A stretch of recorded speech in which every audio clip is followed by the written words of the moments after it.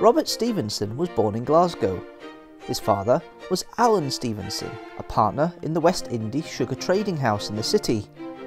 His father died when he was just about two years old, and his mother didn't remarry until he was 15. His mother remarried Thomas Smith, and Smith's daughter Jean Smith became Robert's wife in 1799.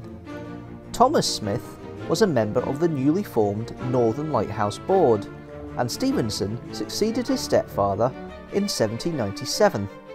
He would be part of the board until 1842.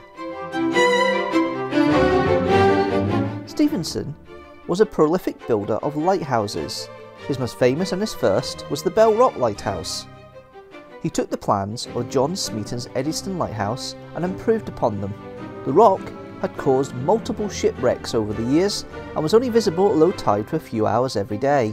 The lighthouse allowed sailors to avoid this hazard, and it's a testament to his design that the lighthouse still stands today. His many innovations in the design of lighthouses included his choice of light sources and mountings, reflected designs and his use of Fresnel lenses.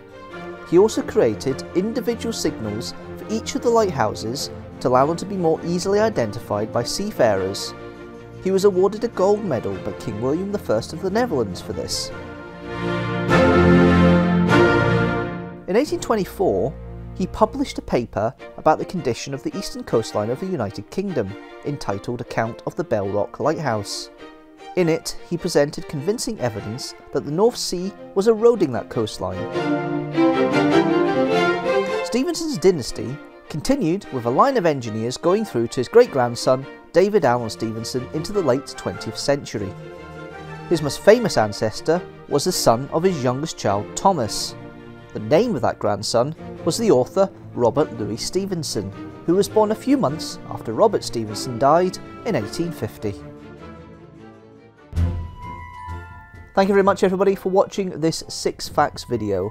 If you like this video, don't forget to like it and share it with the hashtag TeamStructor. And also don't forget to hit that subscribe button and the notifications bell so you know when a new video comes out.